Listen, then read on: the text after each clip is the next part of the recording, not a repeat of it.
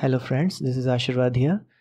In this video, I will be explaining you some advanced uh, topics on algorithm and uh, also on flowchart.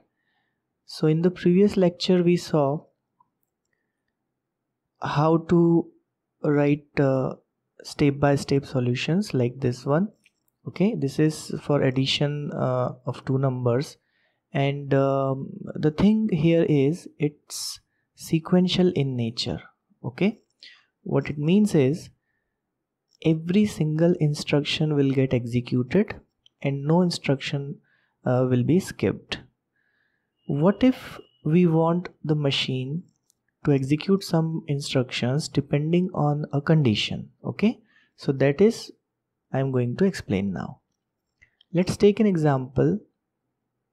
Let me delete this first check whether a given number is odd number or even number okay? How do we generally uh, check whether a given number is odd number or even number? Is is quite simple. We if the number is uh, divisible by 2 then uh, we simply say it's uh, even number or if it is not divisible by 2 it is odd number.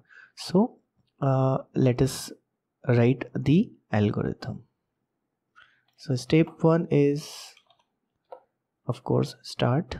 Then take first number as n. Now we have to check uh, whether this number is uh, odd number or even number.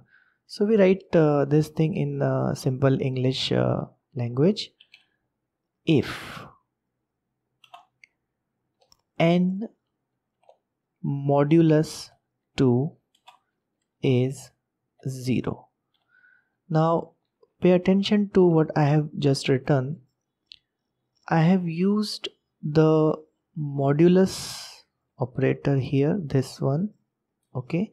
Don't call it percentage or percentile. In programming in java programming uh, especially it is called modulus operator. And uh, what we are doing is we are dividing n with 2 and uh, we don't want quotient okay? If we we had uh, wanted quotient we would have put uh, a division sign or simply slash okay? So what does what does this operator do? It gives us remainder okay? Not the quotient. So that is exactly what we want. So here we are saying that divide n by 2 and check if the quotient uh, sorry check if the remainder is 0 or not okay?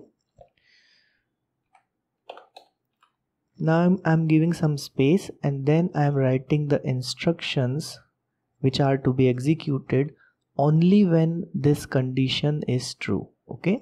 So what do we need to do if n modulus 2 is 0 we simply have to display the number is even okay? This is what we have to display. And what if the remainder is not zero okay? So what we write? Simple english okay? So don't uh, uh, think about the uh, technical language. It's just simple english language okay? So try to understand otherwise otherwise simply display the number is odd okay? And after this the last step will of course be stop. So that's it for this algorithm. I hope it is clear to you. Take a close look at uh, this algorithm one more time. Divide n by 2 but store the remainder check the remainder okay if it is 0 or not. So if this condition is giving you the answer in yes then the machine or the computer will display this message. This message will not be displayed in this case. And if the remainder is not 0 then it will display this message and not this message.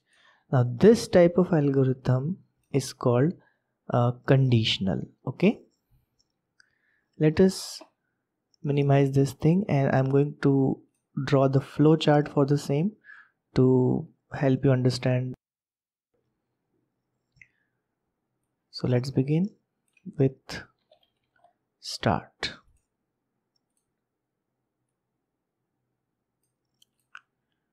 then uh, to take number we'll take a parallelogram. We write take first number as n.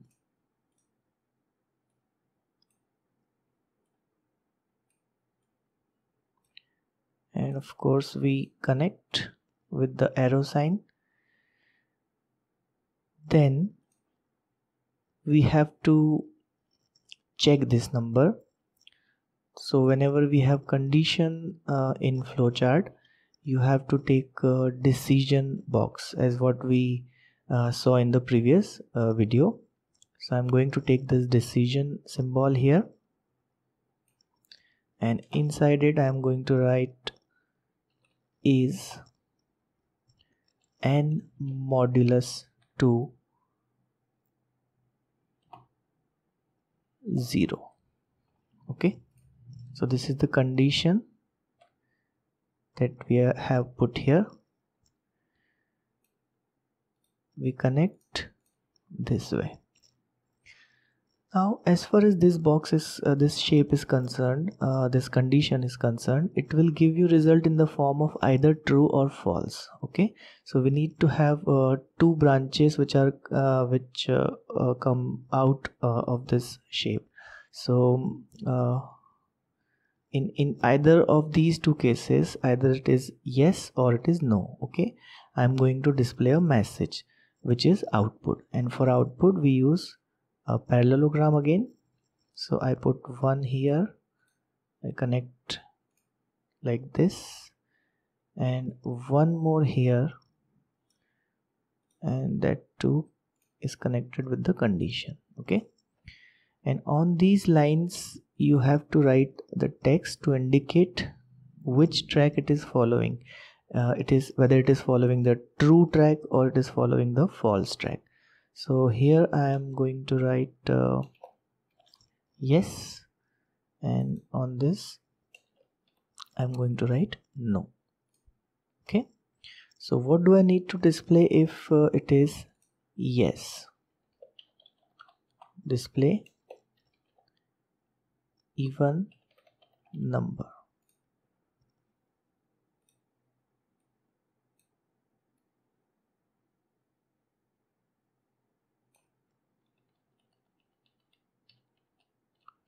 fine. And here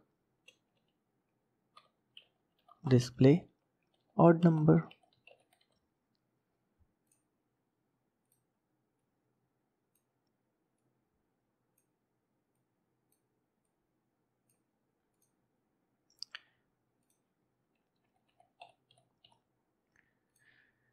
So this is how we display condition in the flowchart. And uh, now we have to stop after displaying either this message or after displaying this message.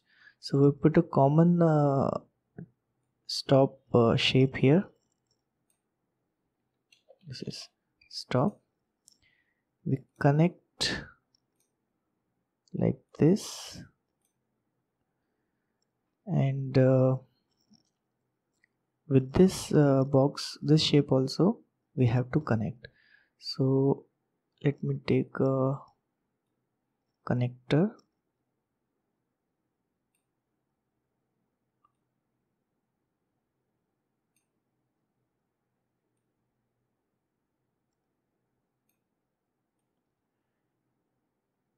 And uh,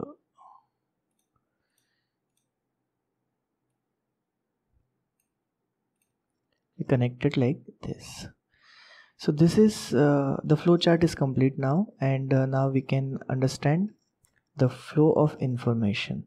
So for example if I enter uh, uh say 10 as the number n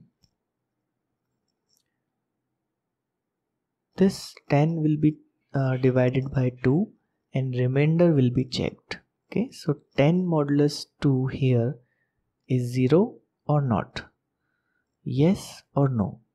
In this case it will follow this track because 10 is divisible by 2 so it will follow this track. It will not follow this track.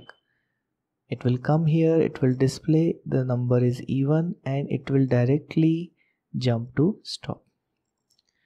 And what if I enter an odd number like 3 so 3 modulus 2 is checked again. And uh, it will not follow this yes track uh, this time. It will follow this no track and then it will display the number is odd and then it will stop.